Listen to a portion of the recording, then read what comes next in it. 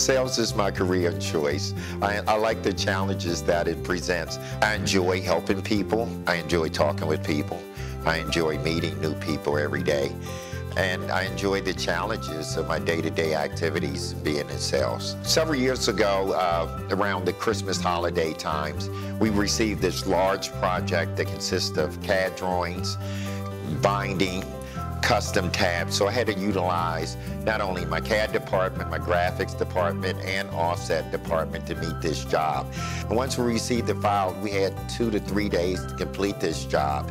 So the whole shop was working, and then even delivering the job and seeing the client happy and really exceeding their expectations that was very satisfying and I always remember that job. ABC Imaging provides that type of opportunity for me to go out here to be the best salesperson in the city.